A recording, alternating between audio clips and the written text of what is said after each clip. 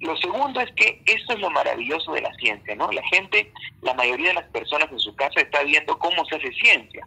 Y la ciencia parte de la observación. Entonces, no es que no sepamos completamente lo que pasa con el virus, con estos nuevos casos que están presentando. Lo que pasa es que cada día cambia la ciencia, día a día cambia y van apareciendo nuevas investigaciones, van apareciendo nuevos hallazgos. Lo que se ha reportado en Reino Unido, en España, sobre, por ejemplo, síndrome de Kawasaki, que es una enfermedad eh, es una enfermedad autoinmune, es algo que nosotros los pediatras ya conocemos y que se presenta mucho cuando hay temporada de influenza, por ejemplo.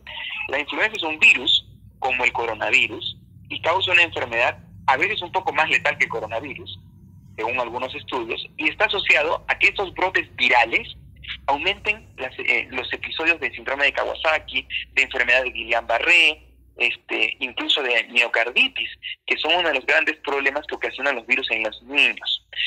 Ahora, entendiendo que la mayoría de niños no tienen inmunidad, o sea, mejor dicho, ningún niño tiene inmunidad en la faz de la Tierra contra este coronavirus, si contagia a toda la población, solamente por número absoluto van a aumentar la cantidad de complicaciones, como aumentaría si fuera la influenza, si fuera este, el rinovirus, si fuera este, cualquier otro virus. Entonces, dado que no hay inmunidad frente a este virus, al enfermarse la mayoría de personas tiene que aumentar en número absoluto y en número relativo la frecuencia de enfermedad de Kawasaki, de síndrome de Guillain-Barré y de miocarditis, que son enfermedades que en los niños están asociadas a infecciones virales. Entonces no es que el coronavirus esté mutando y esté causando esta enfermedad en niños, es que es algo que debíamos esperar posible cuando tenemos un brote epidémico de una enfermedad viral.